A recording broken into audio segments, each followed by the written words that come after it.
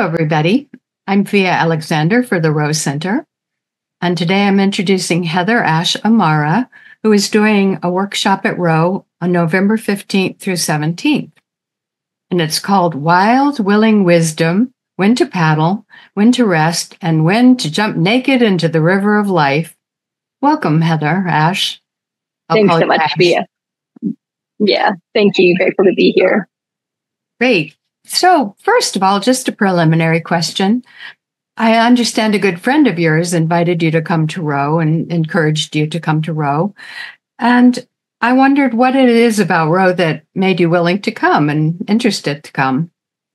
Mm, I have heard so much about Rowe over the years from my friend Matt, Matthew Stillman and just the experiences that he's had and the community that I've seen around those experiences was the first place of like, ooh, what's happening there? It's very community oriented.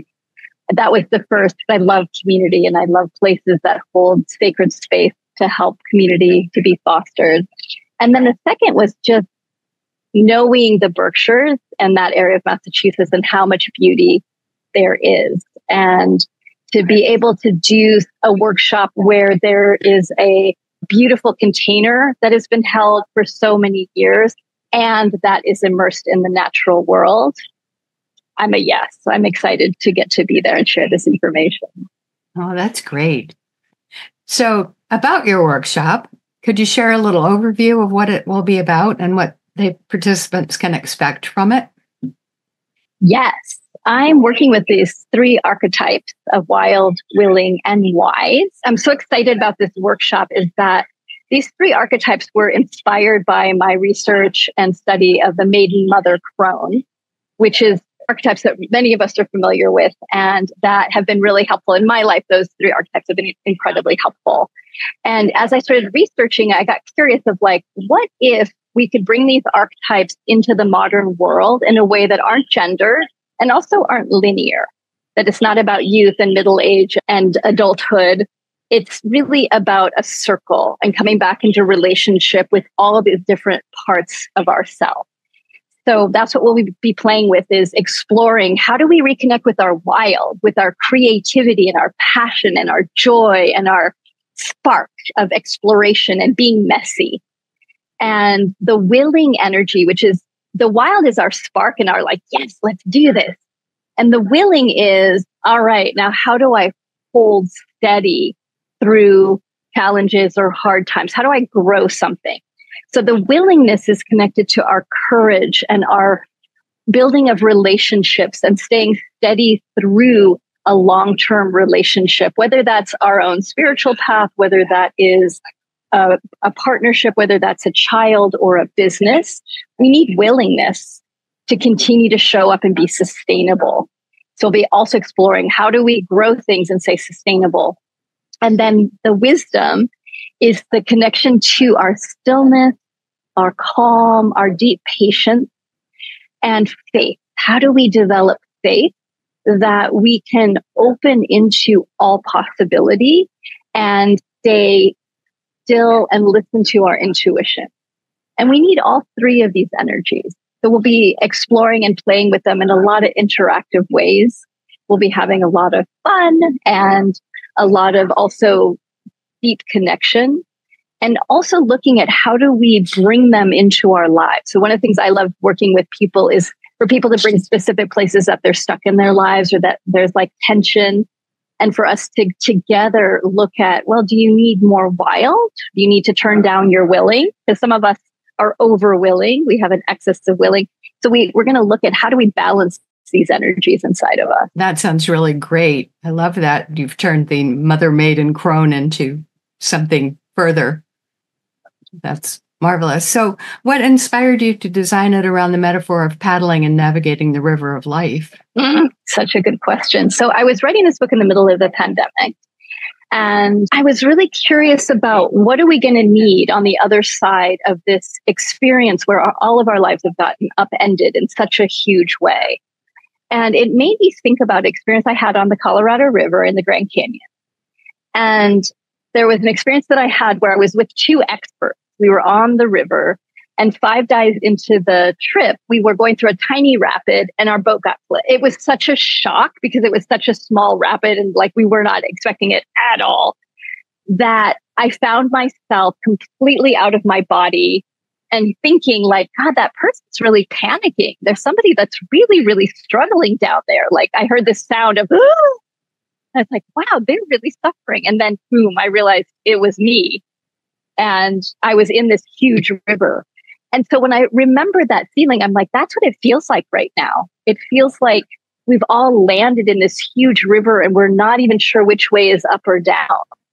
And so I've started playing with that metaphor of ri- the, that life is like a river and that there's times when it's calm. There's times when we can get rejuvenated and we can daydream and look around and feel connected. And there's also times when the river's really rough, where the rapids are high, where it's scary, when we're not sure how we're going to do it.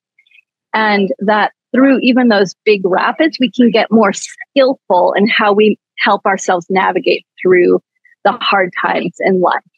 And so the book then became, and the workshop will talk about this wonderful way to, to check in with where am I in my life right now? Am I in the boat or am I in the water? Have I pulled the boat up to the side and I'm like, I'm not getting in that river. It's scary. Am I trying to paddle everybody else's boats? So we can immediately start to get a sense of uh, what I call get ourselves on the map of where we are in relationship to life at this time. And then start to figure out, all right, how do I use these three guides?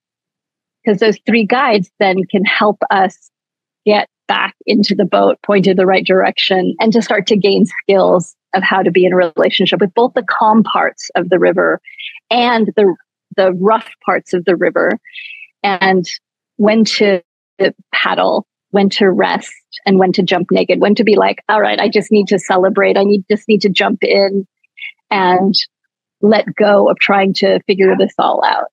And we we need all of that. We need more skills paddling. I think we need more skills resting and we need more skills just letting it all go. That's grand. So it's divided into three sections. Can you explain what each section will cover?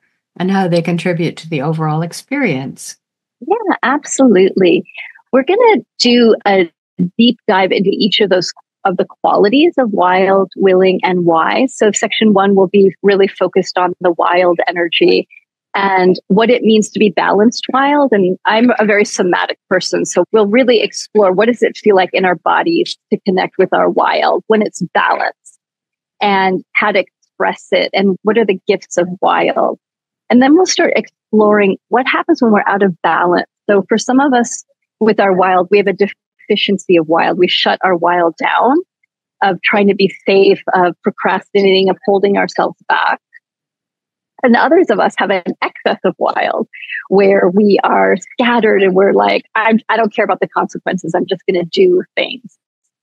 And so to get this sense of where am I in relationship with my wild and to learn how to tune. Because I don't think any of these qualities are bad. It's not that this is good and the excess or deficiency are bad. They're just qualities. We'll get to explore and work with each other about how to find the, the centered beauty of balance in our life. And then we'll also, within each of the sections with wild, we'll also then explore where are we in relationship with other people that are like excess wild or deficient wild so that we can bring curiosity. That's a mark of wild is how do we get curious in our lives? How do we bring that sense of openness to ourselves and others? So that'll be section one. Then section two will focus on the willing. And again, the balanced willing is the fire inside of us is bright and we know when to put more kindling in or when to put a bigger log. And there's a relational quality with our fire. When we're balanced with our willing, we are steady, we're sustainable, we're strong. And so we'll be exploring it through visualizations, through journey work, through movement, a little bit of movement practice just to get it in our body. What does balanced willing feel like in relationship with ourselves and life? And then deficient and excess. We'll be going into the definition of willing of when we're scared, when we are using in our head too much, when we're unwilling to take risks or to to stay steady, and then also with excess willing. And a lot of us are out of balance with excess in that direction. So I'm sure we'll do a lot of work with that as well in exploration of codependent, trying to row everybody else's boats, uh, trying to feed everybody else's fires. Like, come back. How do we get in our own boat and get pointed the direction that we're going and find our sustainability so that we're not burnt out or overwhelmed? And I have a lot of tools to share with people about how to turn down the overwhelm to get more present and creative and courageous in relationship to our willing because that's the the quality of willing is our courage to, to be in right relationship with our courage so we'll be exploring that a lot in the second section and then the third one we'll d- delve into wise into the wisdom and how they all fit together so i think about that they're they're circles that we're in the middle. We're trying to find where am I in relationship to these three qualities. And that really wise contains all of them. So learning to witness, learning to connect to our intuition, learning to get more quiet and develop our patience, which is what we, we naturally happens when we're in balance with our wise. And we also get really compassionate. So we'll talk about and explore the quality and feeling sense of compassion towards ourselves and others. And then look at how we can go out of balance with our wise and do journey work and tools to come back into right relationship. So it'll be dynamic. Each of the sections will be dynamic. There'll be a lot of also space for questions and specific experiences that people are navigating. I also tend to share a lot of stories of places that to, to illustrate like here's what this might look like in each of the sections taking out of just concept and into each of our experience and then working together in ways to find balance so that people go home feeling resourced and having a skill set of like okay i know what to do when i start moving towards being overwilling i know how to start to turn that down and come back into my tending my fire instead of everybody else's, for example. I think you've effectively answered about three questions here, which is great because it sounds like you're going to guide us through all three of those. And you have strategies for staying centered when we're facing challenges and navigating difficult cult emotions. Would you like to speak a little more on that part? Absolutely. That is going to be such a beautiful piece of this workshop, too. And and getting to have time to create a safe space and a safe container so that everybody feels held that we can then start to explore where are their old emotion where's their emotion, old emotional content that is ready to be moved so i think about it in this way that our bodies are incredibly wise and that we often have this huge backpack of old emotional content and stories that we haven't known how to process and we just stick it in the backpack. And so if you don't have skills when you're a child or as a, a young adult or as an adult, instead of being able to move emotion through or untangle stories as they arise, we often put them in a backpack and they get more tangly. It's almost like you've ever had a bunch of jewelry or a bunch of cords and you put them in a bag and like you wait five minutes and somehow they tie themselves together. That's what can happen with our emotional content and the stories we tell ourselves. And so we'll be putting the backpack down together and starting to open it up to start to look with love at what do we have? What are the old emotions or the old stories that have gotten tangled together that we can start gently with compassion, with courage, with curiosity, untangling. And that it's a really heart centered process. What most of us have learned to do is like, I want to get rid of this, of either shove it back in the backpack and just hold on to it or tie it tighter because we don't realize we actually need to bring in the gentleness of untangling the places that have gotten tied together. And it's actually beautiful in a longer workshop like this. And this is why I'm also so excited to come to Rowe. And this will be the first time I've done a big workshop on this particular topic. so we'll get to dive deep into looking with each other at those tangles and then getting the the feeling sense in our body of what it would take to untangle it to create create space and to to get both the map and the concept of that but also the application in our lives so that everybody will get a skill set. Um, one of the things i'm going to bring into this workshop is what i call the warrior heart practice. And that's the place around un- uh, opening up and clearing old emotion is that often we've tied together emotion and story. What i'm what's happening in my mind versus what's happening in my body so we'll use this particular practice. It's a very specific really simple practice. I've been doing it for over the last five years now. It's so profound. Mm. And it just changes how we perceive ourselves and brings in the courage to untangle things. So we'll learn how to separate out what am I feeling? What's actually the feeling that's happening in my body, separate from what I'm telling myself about the feeling? And we don't know how to do this often. We don't learn this as a skill set. And it's hard to do it by ourselves. But in a group, we can feel held to start to feel, oh, right, I feel grief or I feel anger or I feel disappointed. So, where's the disappointment in our body? How do we just be with that disappointment? Or how do we be with the grief? Or how do we be with the even joy. Some people are like, oh, I'm actually really joyful, but I think that I'm anxious, but I'm actually happy, but then I get anxious. And so to separate out and be like, oh, this is what's actually going on in this form, in this body, in this being with my emotional content. There's a sweetness of learning how to sit with ourselves and be with our emotion that is is really life changing because it's the feeling sense I have of like when I've sat with someone who is really ill and that place where you're like, hi, sweetheart, what do you need? You need a little bit of water. You need, and then we get really present. And that's what we can bring to ourselves of like, hi, sweetheart, what are you feeling? I'm here. I'm here with you. And that starts the process of really self intimacy in a beautiful way.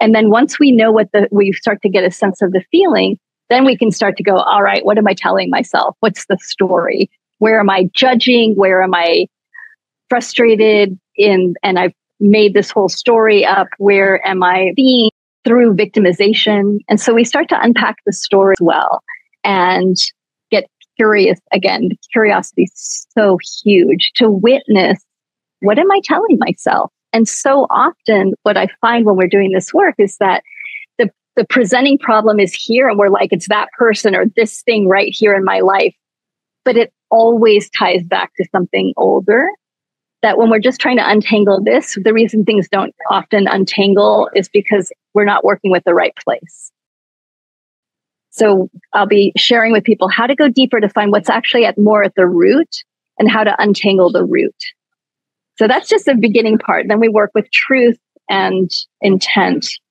and come back around again. So it'll be very graspable. All of the work that I love sharing with people is that combo of here's the big picture, and then here's how we get in the river and actually build the skills to get ourselves where we want to go, getting clear about what our intent is so that we're more creative and joyful and courageous in relationship to our lives every single day. Well, that's very vivid about the untangling the cords and chains. That's that sounds like fantastic work. Doing less can actually lead to achieving more, apparently. How can participants apply this principle in their daily lives? It's a good question. You know, one of the things that's so coming to a retreat or going someplace like Rowe is that you're we interrupt our lives we step out of our lives and we're held in a space that allows us to look back at our lives from a different vantage point and especially someplace where there's natural beauty and where there's history that i think that's that makes it even a, a more helpful container to step into. So often in our lives we get caught in these patterns of paddling constantly and thinking like we're getting someplace And I, I found that after the pandemic, there's this feeling, there's a lot more anxiety that many of us are feeling and feeling sense of not getting traction in our lives. And like, well, I just have to try harder to get the traction and to step out of our lives and be like, let's look at what's actually ours to do and how can we get grounded and centered again that instead of just doing we're like this is mine to do and this is where i want to put my energy that there's a simplicity that starts to be able to be seen that it's what i call sacred time management i and where this came from in my life is I used to run an organization. I lived in Berkeley, California many, many years ago, and I had a, an organization and I recognized at one point that I was really busy, that everybody was like, we were always last minute and there was all this chaos in the organization. And I stepped back and I'm like, this is me. Like, this organization is reflecting my old patterns and habits. And so I took a year off and I got really curious in relationship to, to work and structure and being in the world what have I learned that's actually not beneficial? And what I started learning how to do is linking my myself to my intuition versus my busyness. And when we start linking ourselves to our intuition, there's we create this space around us that we get really quiet. And there's a place where we can then stop and feel into what's the next step. And I had a really quick feedback around this. So I'll share this because it's, you know, I think the tangible sometimes can be really helpful. Where I was on a book tour or something, I was making all these phone calls and I was like, start at the top of the list, go through all the people. And I was frustrated because I wasn't getting hold of people. It felt like so much work and oh my God, this is going to take me forever. And I was like, all right, let me run the experiment. What if it is less is more? What if that was actually true? So I got really quiet and I opened my heart and I was like, all right, what's my next action? And I got this really clear. It was seven in the morning. Call this person now. And I was like, it's seven in the morning. I can't call that person. I started arguing with the voice. Like, this is your next step, sweetheart. Call this person now. And again, I was like, it's that, like my logical mind got in there. Like, I can't da da da da da. And again, call them now. It's like, all right, fine. So I picked up the phone. I called the person on the list who wasn't at the top of the list. They were in the middle of the list. They answered the phone. Within five minutes, I booked something. It was like a really great conversation. Boom. And I was like, ah, it worked. Okay. It takes a lot of practice to keep coming back to that. And that the foundations of what we'll share with the sacred time management, which will get woven in, is this place where when we're connected to our wise, when we're connected to our intuition and we settle in and open to receive guidance and information, things get much simpler. Because instead of being guided by our mind, which sometimes is not helpful, the worry, the anxiety, the figuring out, the like, I've got to do it right, all of that stuff, we start to center into our heart and listen for what's next. And we all have this incredible weaving guidance system, I believe, where we're connected to other humans, we're connected to nature, we're woven together in this beautiful tapestry. And as we slow down, we can start to feel the tapestry and the, the threads. And I like to think about that there's this divine force, whether we call it our higher self, whether we call it God, goddess, creator, whether we call it life, you know, my teacher is Don Miguel Ruiz. My deepest mentor is Don Miguel Ruiz of the Four Agreements. And he would just say, life is moving, life has intent. And when we learn to listen to those, the intent of life, things can move very quickly. His life intent, God, Goddess, Creator moves quickly. And so that's what we're starting to open into is that simple. Where's the line of energy? Where's the intuitive knowing? Where's the the thread that we can follow that can guide us. And it takes connecting to our stillness. Based on your experience, what kinds of personal transformations or insights have past participants reported while attending your workshops? Mm, gosh, I just did this workshop in Sedona that it was a really interesting workshop because 95% of the people had never heard of me, didn't hadn't read a book, and were like, but this is it. Like I'm I want to come.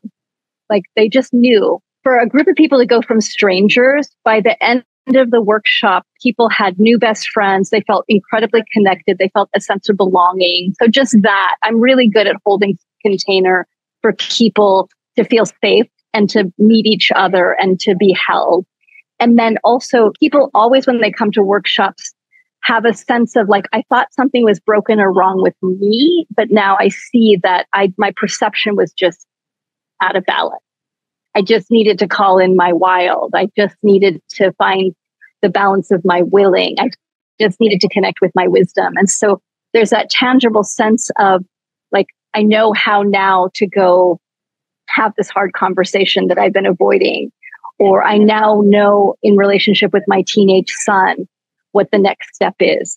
So there's that, that very practical feeling sense of hope of places that felt difficult in the past. And there's also this sense of inspiration that people leave with of like, oh, I can do this. I've got people that see me. I feel the sense of connection that I had lost. And I think that's really important now, especially post pandemic. Well, we're not quite post, right? We're still navigating so much.